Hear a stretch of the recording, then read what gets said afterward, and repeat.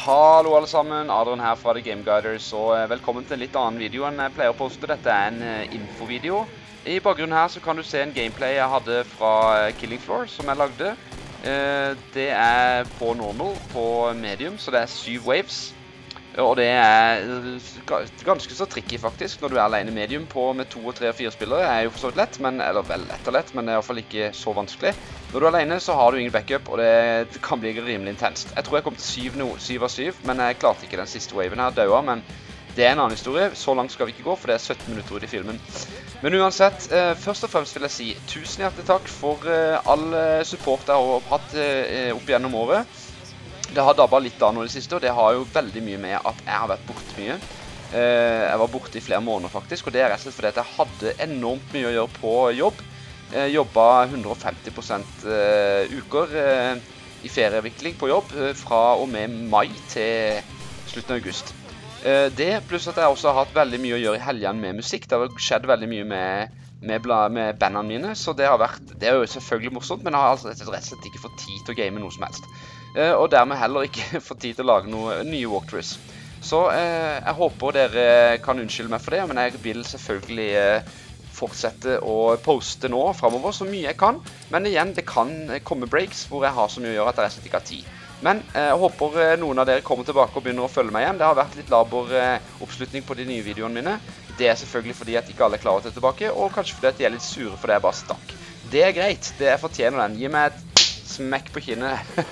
Men jeg håper eh, virkelig at dere kommer tilbake til min lune hule. Eh, så over til det jeg egentlig skulle snakke om. Og det er at eh, jeg har bestemt meg for å avslutte mine walkthroughs på norsk. Det vil si jeg vil fortsette på engelsk, men jeg vil avslutte på norsk. Det er flere grunner til det. Den ene grunnen er at jeg rett og slett var og scrolla litt tilbake i tid nå. Jeg har jo holdt på snart et år. Kikka litt på de gamle videoene og, eh, og, sett på norske og, norske og engelske. Og man kan tydelig se at de norske de hadde de viewsene de, de hadde i den tida når eh, dere abonnerte på meg og begynte å se på meg, og det syns jeg er utrolig hyggelig, for all del.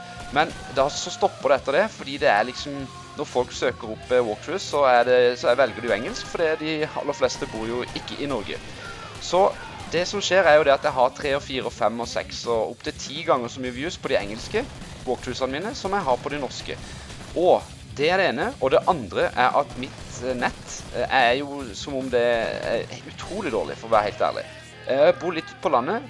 Skulle jo eh, ufattelig da at i 2003 at omtrent det, det er så ille at du skulle tro det satt en indianer på et fjell og med røykteppe og lagde røyksignaler med nuller og ener og sendte over til naboen, som da programmerte det over og sendte det til min datamaskin. Så seint går det.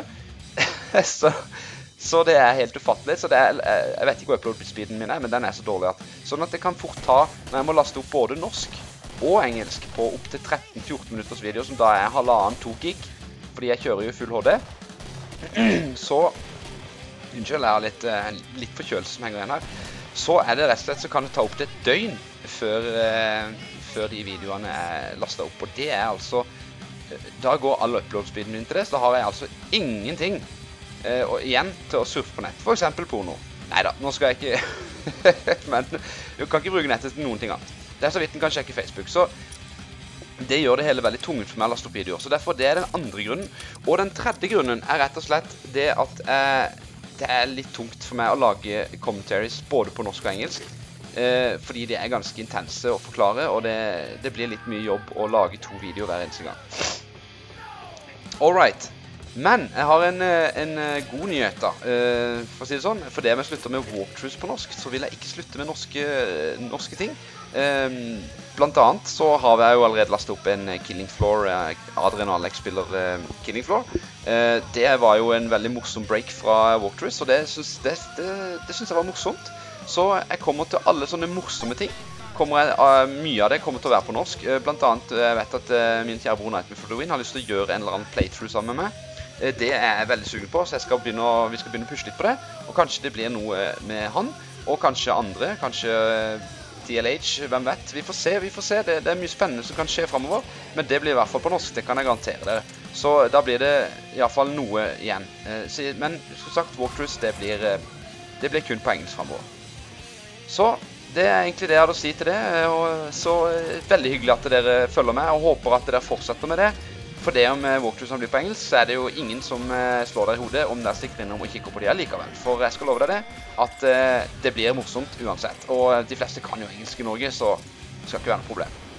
Så da takker jeg for meg, og så håper jeg at jeg ser dere i Mission 6 av Splinter Cell, som jeg snart skal poste. Det blir da selvfølgelig den første kun på engelsk. Så Mission 5 var den siste på norsk, mine damer og herrer. Så sånn litt Men uansett, life goes on, and that's how it is. Så vi håper vi ses snart. Ha en aldeles strålende uke, alle sammen. Hei då!